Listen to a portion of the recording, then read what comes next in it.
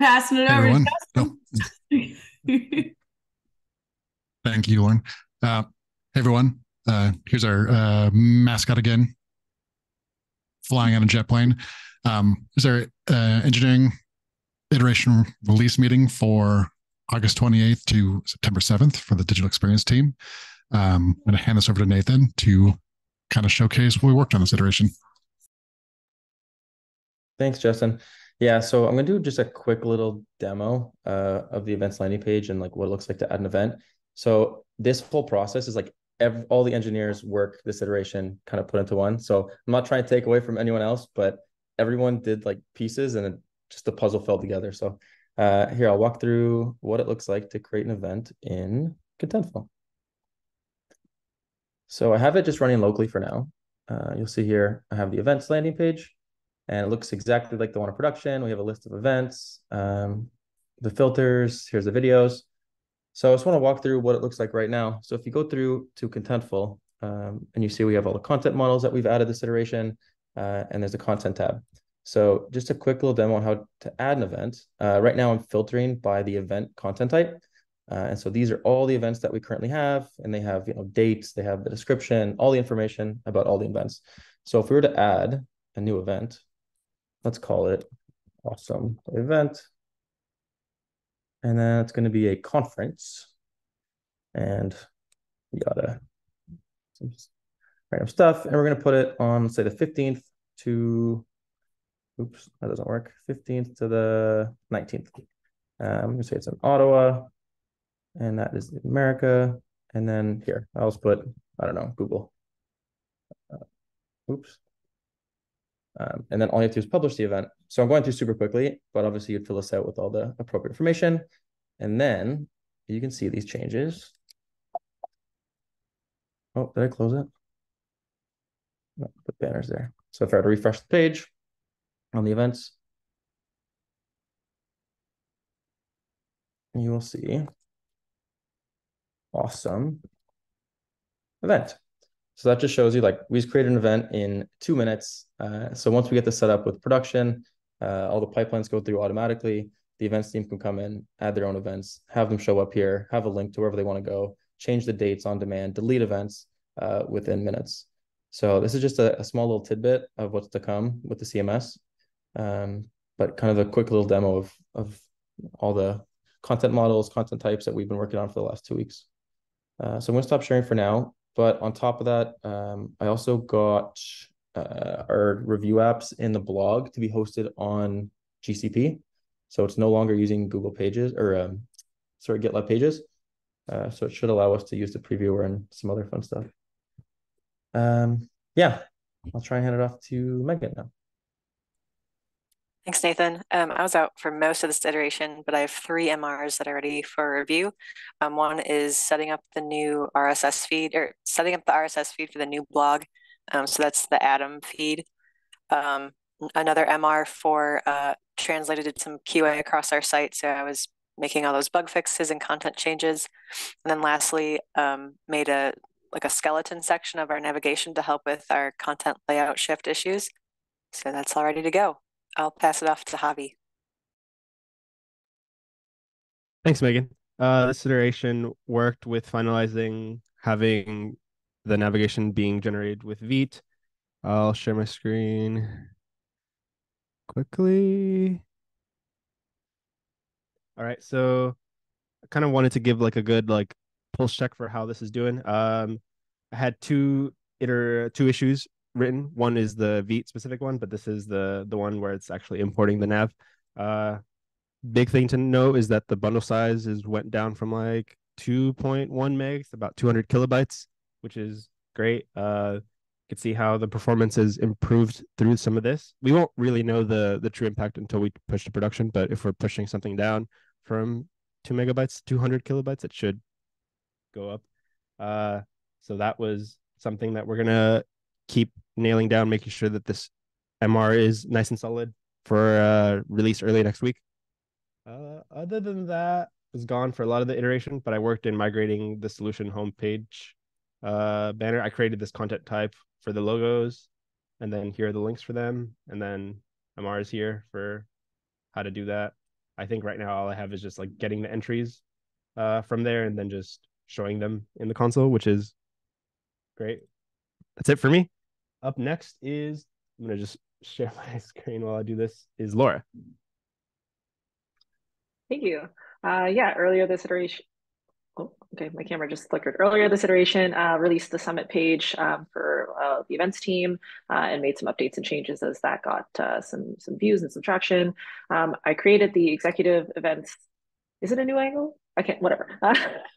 um, I created some executive events pages for uh, Dallas and for New York um, and released those.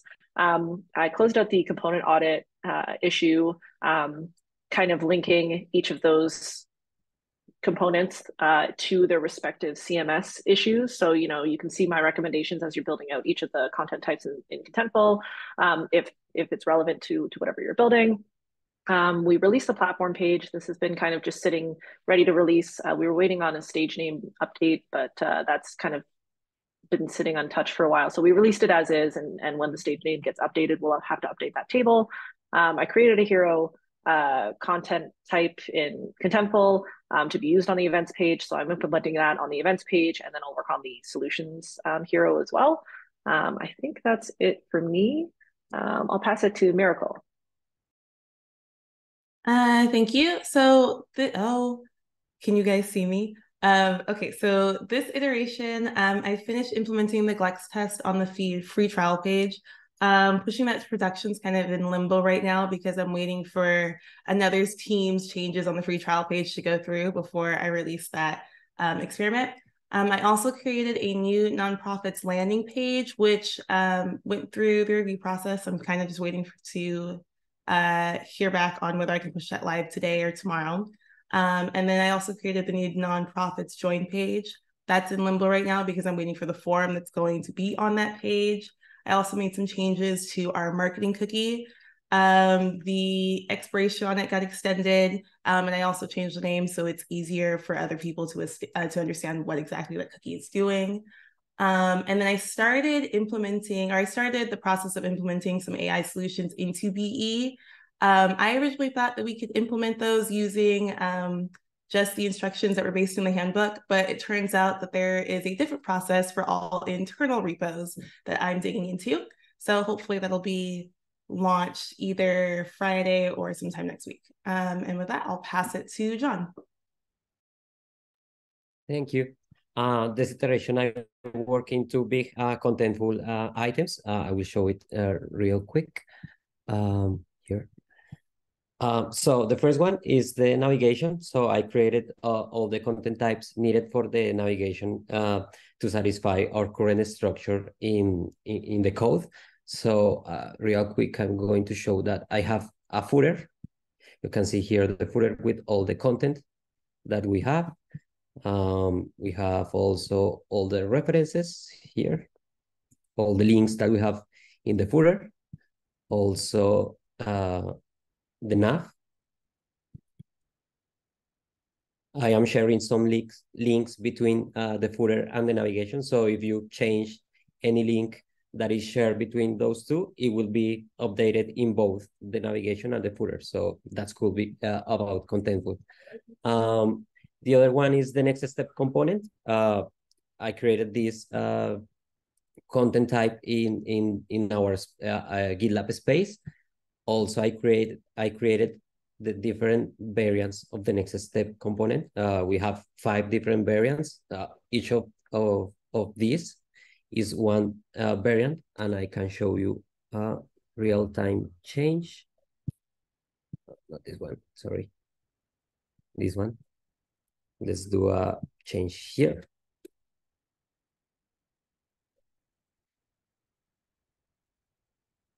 And if I update here, you can see a change as Nathan did.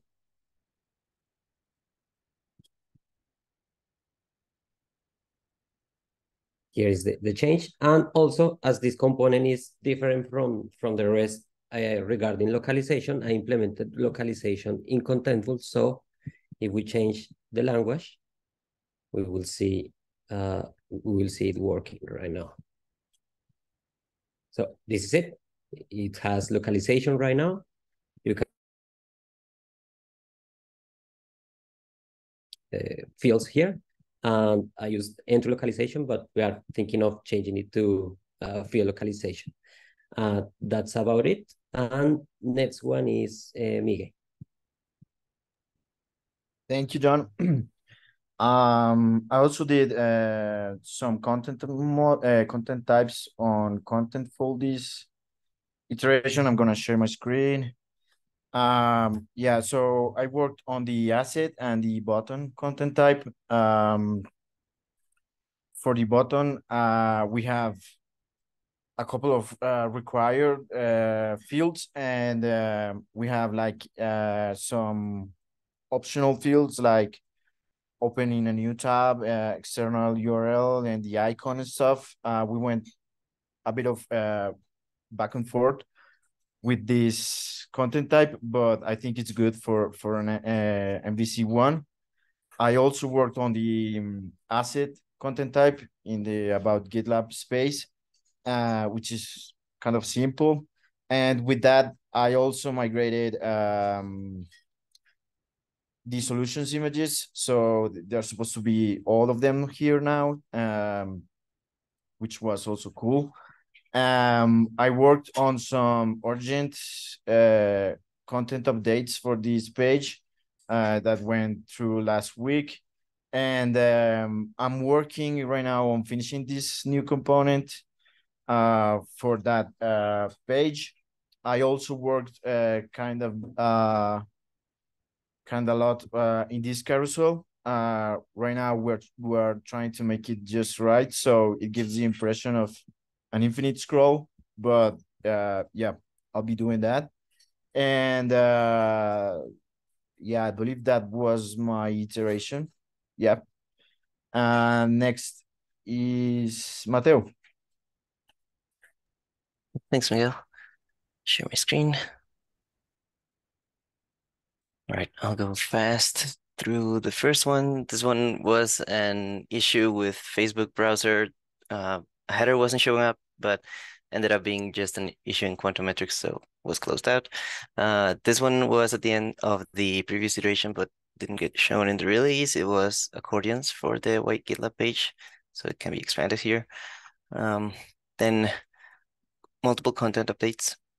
This one is for the VSA page. This one is for the an event page, New York one, and why GitLab. And then I was working on the the migration script. This is what I worked the most on this iteration. Um, the idea was to migrate the content from the www blog to Contentful. Uh, this was the main script. It looks for the blog files in in the local www repo and cross references with the author files and looks for the images there in that repo and bundles all that into our content types. So here they are.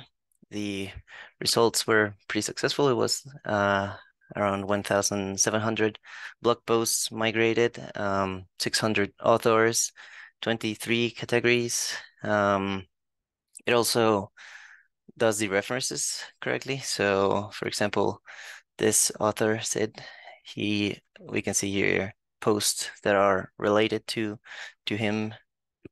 And here it is, the posts have the image relationships and the content. Uh, something that I did also is we had a problem where the Markdown was referencing um, relative paths for the images. So since they were stored in the same repo, uh, that didn't work in Contentful unless we uploaded every single image to Contentful. So the script also turns those relative paths into absolute. So they keep working and this is how it looks in the blog. So it is now filled up with all the categories and all the recent posts. Uh, here are by category and we can access the post and it has the images. This one is coming from the markdown. So since it's now absolute, it keeps working. And uh, we have also other posts that have related posts below that belong to the same category. So it, it will show recent posts in that same category without need to update. And yeah, uh, the script first pushes everything as a draft. So I also worked on a couple more scripts, uh, one to publish drafts uh, and one to update the slugs because for some reason Contentful does not auto-generate slugs on migrate content. Uh, so this one populates all the slugs that we use to create the routes in the blog. Um, yeah, that was it. And next one is Margaret. Yep. Uh, so for the situation, I worked on creating the video carousel for the events page. I'm gonna share my screen real quick. Let me know when you can see it. So this is the uh, event carousel uh, content type. Uh, so it's reusing uh, uh, content types created by Miguel, uh, the external video um, content type and the assets content type. And it's fully integrated too. So I'm also gonna add some changes here so you can see it.